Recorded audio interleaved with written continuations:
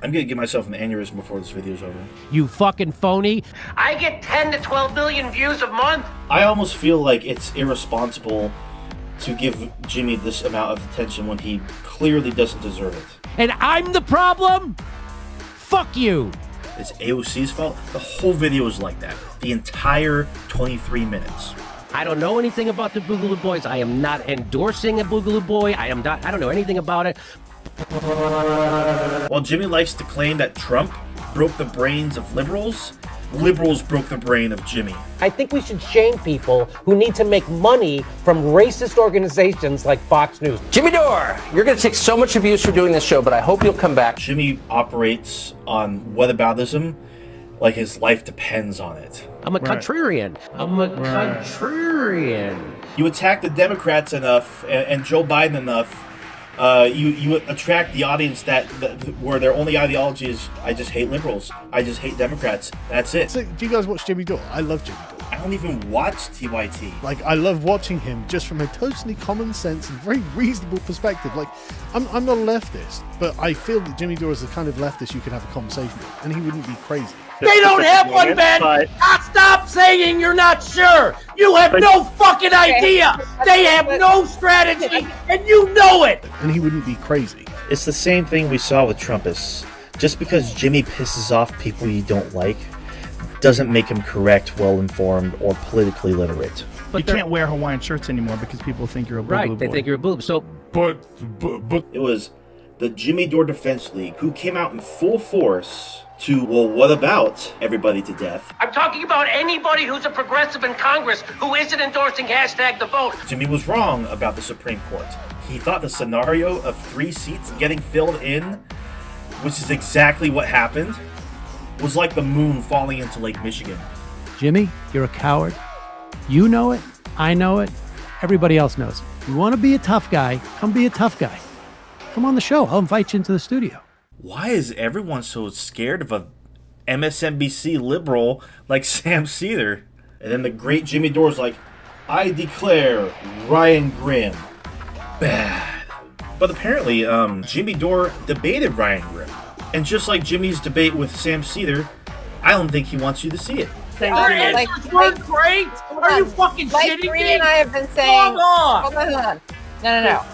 So, Uh, so what Jimmy, I I want to say really is that In some of these clips, Jimmy's drinking.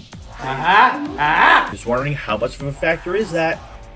But I have to point out just how differently uh, Jimmy acted when Tulsi Gabbard revealed that she was backing away from Medicare for All, adopting what is essentially the public option, which is what Joe Biden ran on, by the way. most people are for single payer. It's not quite Bernie's plan, but the beauty of it is it takes away that right wing talking point of scaring people about they're going to take away your gonna your health care. Jimmy, for a brief moment there, grew a brain. When his position every other time is that you're a fucking sellout, you're a gutless wonder. I've done more without a movement than he has with it.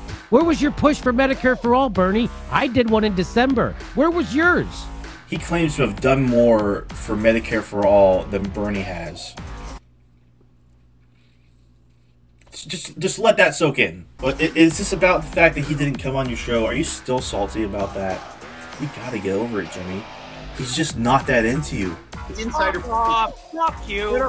Fuck. Go fuck yourself with your fucking committee fuckface. you fucking egghead nerd. I don't give a fuck about your committee shit. Who are you? Who are you talking about with that, Jimmy? As long as you'll come on his show and uh, make his channel grow, it's really all that matters to him. these people are held hostage because Jimmy Dore's fans are their fans. And so if they don't do everything that Jimmy Dore wants them to do, then they're going to lose all of their money, all of their audience, all of their everything. So they're held hostage. If I was ever pulling anything like this, what Jimmy like like what Jimmy's doing here, I would take a, a big step back and just like, what am I doing?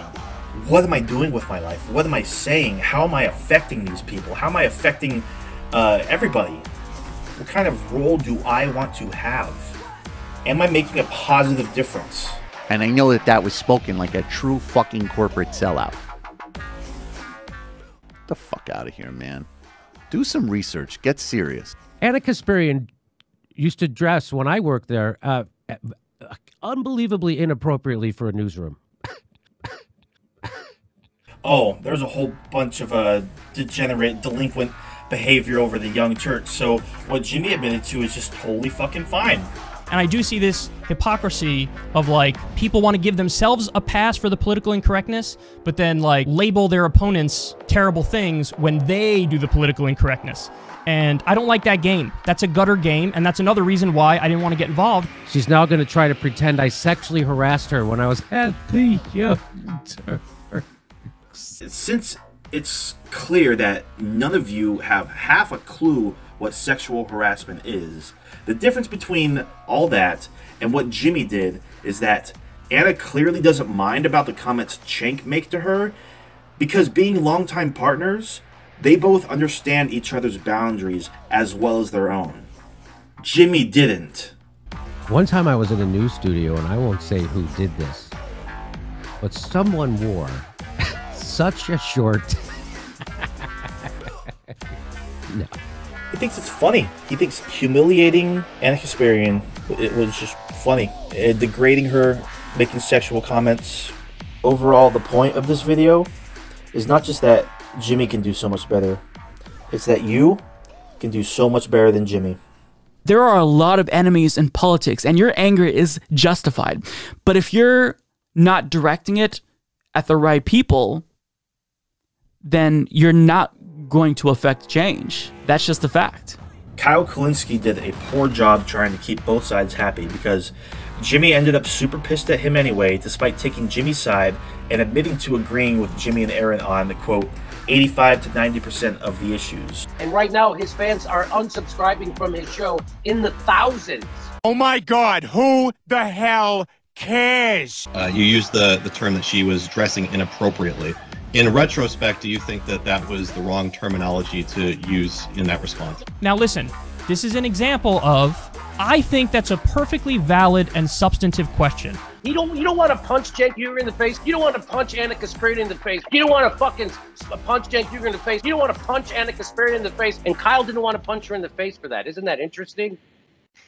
So he really wants to punch Cenk Uygur and Ana Kasparian in the face. That much is clear. Jimmy Dore has the ability to speak to people who may not know all that much about politics, but they're angry. Now they And know bringing in less. with that anger- Now they know less. Sorry? Now they know less. People wonder why the left is so divided today, and I'm sorry, but a huge reason is because of the content put out by Jimmy Dore. Of course, it's not just him, it's a lot of similar YouTubers like him. Usually, if I'm going to watch the news, I either turn on uh, your show or um, the Young Turks. That's who- usually who I go to for news. I, I mean, I usually if I'm going to watch the news, I either turn on uh, your show, Sam's show, or um, the Young Turks. That's who- usually who I go to for news. Uh, your show or um, the Young Turks. Oh My god.